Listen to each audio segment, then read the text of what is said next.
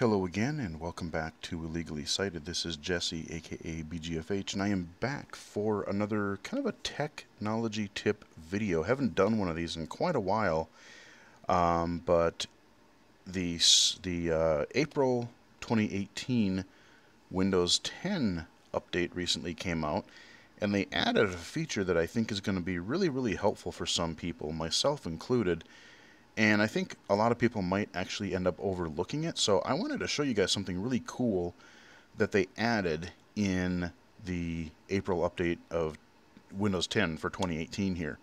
So prior to this update, you had, I have a shortcut here, um, your volume mixer. I'll turn magnifier on for any low vision users here.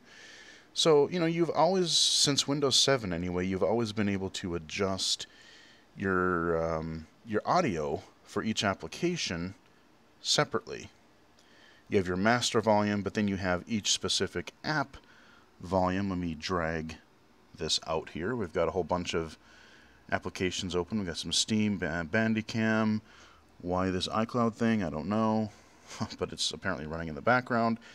But so that's been a nice thing, you know, especially if you are an assistive technology user, like a screen reader user especially, you can you know, have your screen reader volume high and then open any background audiobook or like music or, you know, a movie or whatever, podcast, and you can have that lower so it's much easier to do the mixing and like you can still listen to music while you work and not have everything drown out. Makes it very, very helpful. I was very happy when that ha- that feature came out in Windows 7 because even like in XP, it was kind of an all or nothing deal unless uh, you know all or nothing volume deal unless you had your program had some feature like I know the old Winamp you could adjust it separately back in the day. But now with the spring update or the April 2018 update, if I type in app volume, which is kind of the way I re saw it referred to on Twitter, that it get, clued me into this new feature, on the top of the start menu here, our first option is Sound Mixer Options. I'm going to click that.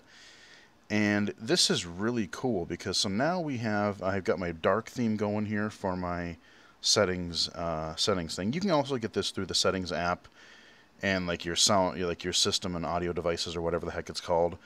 But I, am a firm believer, like it, it's just so much more, it's so much quicker, so much convenient just to kind of type in to the search box in your start menu what you're looking for Boom, app volume. Yep, it knows what I want. So you have your master volume here uh, for everything. And then you also are given input and output. So output here, input there. So for everything overall, I can say, do I want it to go through any speakers I have hooked up? Do I want it to go through my headphones if I have any hooked up?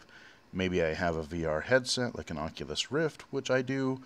If I wanted, I could dump everything through there or I could have my microphone, my headset microphone be the input and my speakers the output if I really wanted to. That's not the cool part. So the cool part down here is you can do this on a, on a per app basis. So I'll remember all those apps that I have open. Just like before, I have the volume sliders here.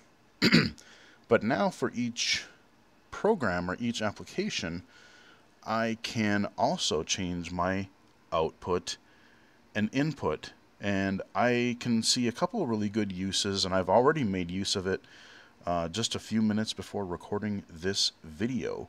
Um, I remember back in the day my friend and I used to try to do a few we did a couple of uh, you know weddings we did a couple of DJ you know DJed for a couple of wedding dances and you kind of had to be a little creative about like okay you don't want the screen reader going through um, you know, you don't want everybody else hearing the screen reader, but now it's really easy. You could have the master thing, everything going through your headset, and then you could say, okay, my music application, I'm going to have that audio output through the speakers, and that's the only thing they're ever going to hear through the speakers.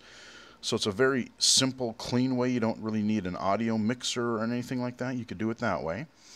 The other use that I found that is really helpful for me is I've had in the past, I've had some experiences, some both through Steam and a couple through the Oculus uh, store a couple of games and applications, and I've complained about it on other videos. Um, like I've had to go in and futz with things to try to get it to switch, and it was kind of messy. Um, Steam, you could kind of get around it.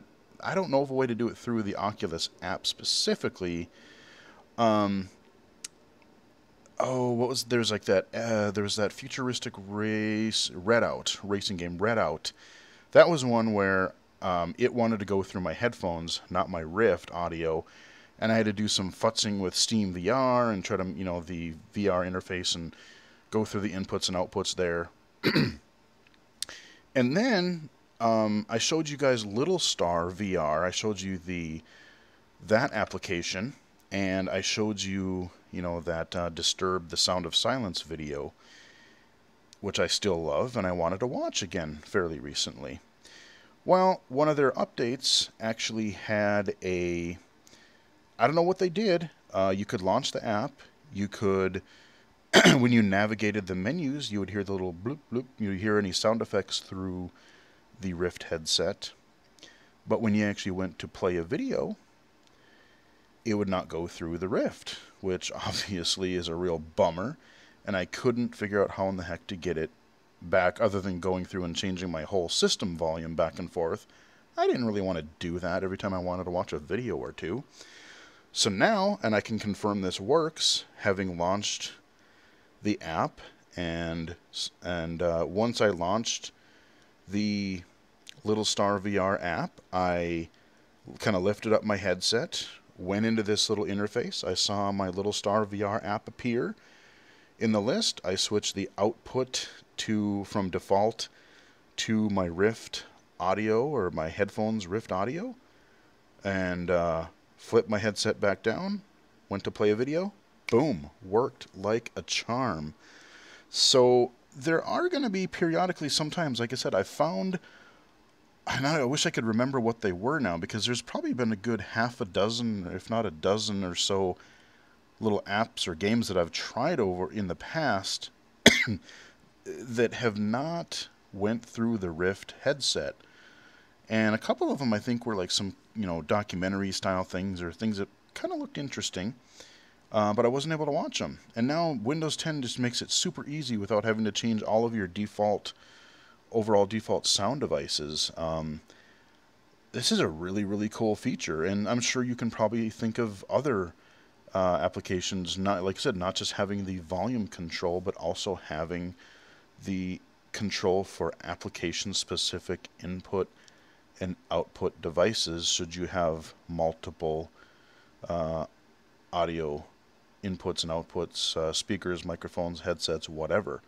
So that's just a quick little thing that I found to be very, very helpful in the April 2018 Windows 10 update. Thank you, Microsoft, for adding this. I guarantee I will be using this probably quite a bit in the future, and maybe I might even see if I can pin this sucker to my taskbar instead of the old volume mixer. Um, and uh, we'll give that a shot. But hope you guys found this helpful. Follow me on Twitter at BGFH79. Like the video if you liked it. And uh, subscribe. Hope you guys enjoyed the video. Until next time, I'll talk to you guys again later.